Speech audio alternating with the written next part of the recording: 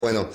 vamos a hablar de una de las noticias más tristes y más conmocionantes que ha dejado este fin de semana, porque eh, otra vez un Día de la Madre que se ve empañado por eh, muerte. Y, esta vez tiene que ver con chicos muy jóvenes, ya vamos a estar conociendo el detalle, dos chicos muy jóvenes que venían a bordo en un vehículo con tres chicos más, eh, pues son todos ahí de, de,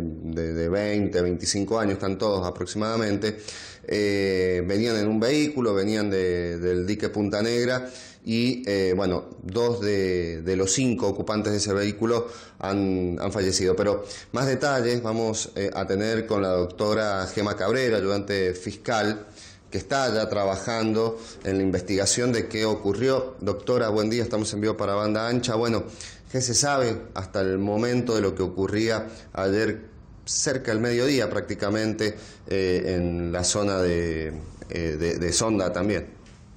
Bueno, eh, buenos días. haciendo eco de las palabras que acabas de expresar y manifestar en el día de ayer, justamente en el Día de la Madre, fuimos anoticiados desde esta Fiscalía de un lamentable siniestro vial que desencadenó o que eh, generó como desenlace el fallecimiento eh, de dos jóvenes, dos muchachos de 22 y 24 años que fallecieron en dicho, en dicho accidente siniestro, como así también em, eh, arrojó como resultado em, cuatro, tres jóvenes que quedaron gravemente lesionados también en el lugar del, del accidente. Eh, siniestro este que acaeció en la ruta provincial número 12, la ruta comúnmente conocida como la ruta Interlagos. Eh, doctora, ¿qué se sabe en estas primeras investigaciones? ¿Cómo habría sido la mecánica eh, del, del, siniestro? Bueno, em, nosotros fuimos anoticiados alrededor de las 12 del mediodía de este siniestro vial.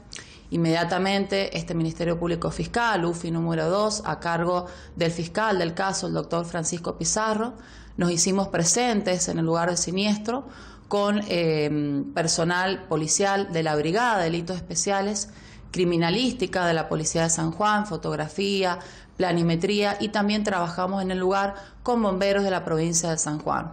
Se empezaron a realizar, llevar a cabo las primeras pericias, las primeras medidas de rigor, en donde eh, se ha podido determinar y obviamente eh, seguimos trabajando para poder precisar con mayores detalles eh, la mecánica del siniestro, pero hasta dicha oportunidad se pudo determinar que estos jóvenes venían a bordo de un Chevrolet blanco, ellos venían, circulaban por la ruta provincial de oeste a este, venían del dique de la ruta de Interlagos y aproximadamente unos 200 metros antes de, llegar a la rotonda de la ruta es que eh, por motivos justamente que estamos trabajando e investigando, eh, se salen de la banquina eh, y terminan impactando con un montículo de tierra y de ripio, un montículo de gran dimensión, de unos 3 metros aproximadamente, tanto de ancho como de altura, y luego del impacto el vehículo comienza a girar y termina eh, impactando en la, en la banquina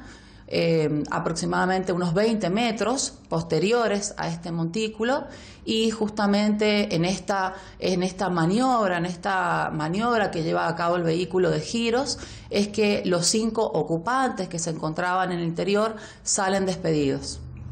Con respecto, doctora, eh, a las dos personas eh, fallecidas eh, que sabemos trabajaron en, identificarlo, usted nos decía 22 y 24 años, pero ¿de quiénes se tratarían y si alguno de los dos era quien iba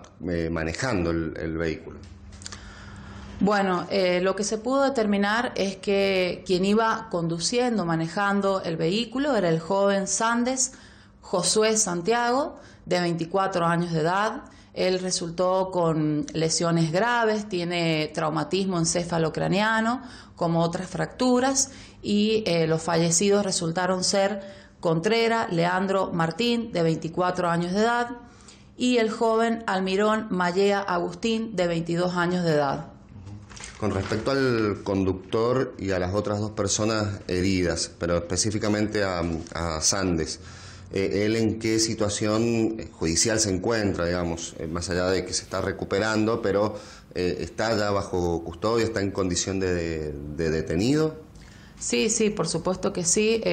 ya se ha llevado a cabo la comunicación de la detención, se encuentra vinculado al legajo fiscal y eh, los familiares eh, ya fueron anoticiados de esta detención, pero bueno, eh, por el momento esta persona se encuentra, si bien está estable en el hospital, se encuentra inconsciente y por supuesto que está bajo custodia policial. Las otras dos personas heridas están más o menos en similar estado de salud, digo, con un, como inducido. Sí, se encuentran, o sea, lo que tenemos hasta este momento fue el reporte de ingreso al hospital. Eh, ellos ingresaron inconscientes y luego eh, se encontraban con coma inducido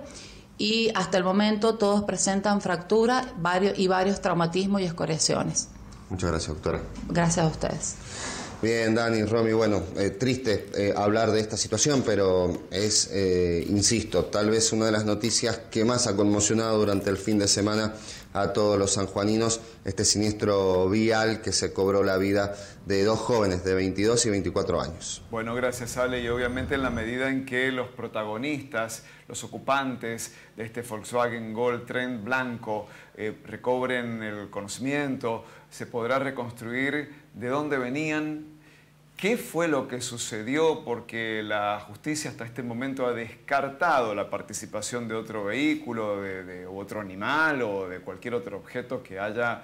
eh, provocado la mala maniobra, de manera tal que hasta este momento la hipótesis, ustedes la escucharon a la fiscal, es que el conductor perdió el control solo, mordió la banquina solo, la banquina derecha, ellos venían en sentido descendente por la ruta Interlagos, o sea que mordió la banquina que daba eh, en su propio carril. ¿eh? Y que a partir de haber mordido esa banquina, se fue contra un montículo y empezó a dar tumbos. Otra de las hipótesis que se ha desprendido y se ha publicado en estas últimas horas eh, y que tendrá que verificar la justicia, lógicamente, lo, lo damos en calidad de hipótesis, reitero, es que los ocupantes no llegaban